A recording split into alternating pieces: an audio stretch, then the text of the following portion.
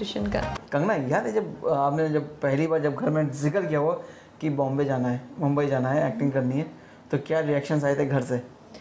आ, ऐसा इतनी मुझे क्लैरिटी नहीं थी उस टाइम पे क्योंकि मैं काफ़ी छोटी थी उम्र में और मेरी जो हॉस्टल में, मुझे हॉस्टल भेजा गया था स्कूल में नाइन्थ, टेंथ के लिए और हॉस्टल चंडीगढ़ में जाके मैंने देखा कि कई लड़कियाँ कहीं कुछ कर रही हैं, जैसे कि स्कल्पचर बनाना हो गया या पेंटिंग करना हो गया, कहीं म्यूज़िक में ही आगे प्रस्यू कर रही हैं। तो मैंने भी अपने डैड को कहा कि मुझे भी ऐसा कुछ करना है। तो उन्होंने कहा कि क्या करना है? तो मैंने कहा मुझे नहीं पता। मुझे अभी एक साल का ब्रेक लेके कुछ दो चार चीज़ें ट्राई करके देखूँगी मैं क्या करूँगी। तो उस बात पे वो काफ़ी भड़क गए थे और अ, और ये बात सही है कि उस टाइम मुझे इतनी क्लैरिटी नहीं थी कि मुझे एक्टिंग ही करनी है या कुछ और करना है। तो उनको ये अच्छा नहीं लगा इस तरह का रवैया क्योंकि एक साल को ड्रॉप करना बहुत बड़ी बात मानते हैं। हमारे जैसे मिडिल क्लास फैमिलीज़ में नहीं कर सकते आप अपनी मर्ज़ी से ड्रॉप तो उसके बाद फिर क्या हुआ? फिर फैमिली जो थी आपकी मदर फादर जो थे उन्होंने आपको सपोर्ट किया मुंबई आने के लिए? या। विज़िट करके आई? मैम नहीं मैं ज़िद करके आई लेकिन मैं मुंबई नहीं आई सीधा मैं दिल्ली गई पहले।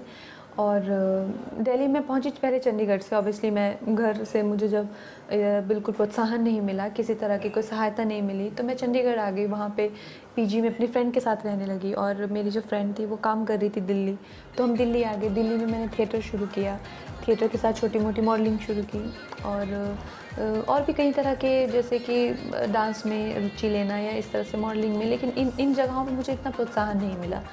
और थिएटर में वहीं मैं थिएटर करने गई तो एक दो वर्कशॉप में ही मुझे वहाँ पे भी लीडर बना दिया गया कि आप, अब आप वो ये वर्कशॉप कल आप देखिएगा।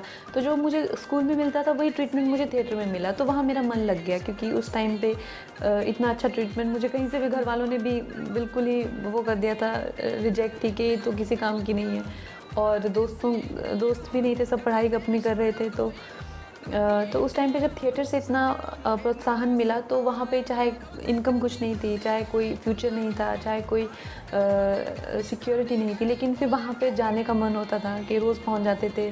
इस तरह से फिर पाँच छः महीने निकल गए।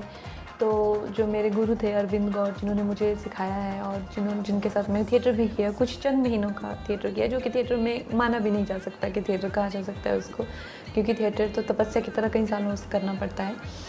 तो उन्होंने कहा कि यहाँ पे तो कोई फ्यूचर नहीं है, इस जैसे कंट्री में थिएटर का और तुम इतनी छोटी हो, इतनी यंग हो और सत्रह साल की हो तो तुम अपना ट्राई क्यों नहीं करती कि फ़िल्मों में? और अच्छी खासी दिखती हो तो हो सकता है तुम्हारा फ़िल्मों में और एक्टिंग अच्छी खासी जान लेती हो।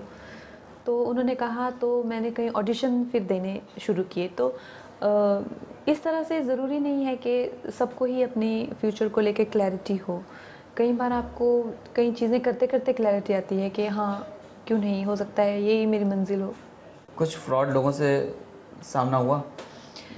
देखिए फ्रॉड लोग तो हर जगह होते हैं। अभी भी फ्रॉड लोगों से सामना तो होता ही रहता अभी है अभी भी होता है हाँ अभी भी होता है क्योंकि ऐसे कई लोग घूमते हैं जो खुद कुछ करते नहीं हैं और खुद उन उनको किसी चीज़ में इंटरेस्ट नहीं होता है काम चोरी में रहते हैं और किसी का नाम लेके या किसी का नाम गलत इस्तेमाल करके हमेशा आपको जब जैसे छोटी सी कोई बात हो गई अभी, जैसे कोई हमें किसी का नाम यूज़ करके किसी अपियरेंस को कराने के चक्कर में रहेंगे, बीच में कोई पैसे मारने के चक्कर में रहेंगे एक्टरों का हमारा नाम गलत यूज़ करेंगे, किसी और का नाम गलत यूज़ करके हमसे कोई चीज़ कमिट करवा लेंगे तो इस तरह से फ्रॉड्स तो रहते ही हैं, वो तो एक चीज़ चलते थे पूछेंगे कि जैसे आपने बोला था शुरू में कि फैमिली जो थी उस वो ज़ाहिर सी बात है एक मिडिल क्लास फैमिली जो है वो अपनी लड़की को थोड़ा सा सोचती है कि अकेले ना जाने दे कहीं बाहर। लेकिन अब जब कंगना ने इतना बड़ा मुकाम बना लिया इंडस्ट्री में अब फैमिली का क्या हाल है?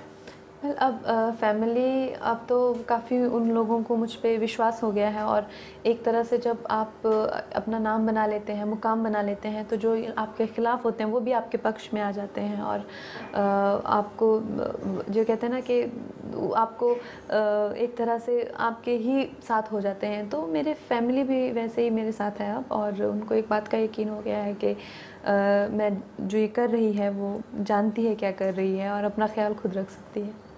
चलिए, हमें बड़ा यकीन है कि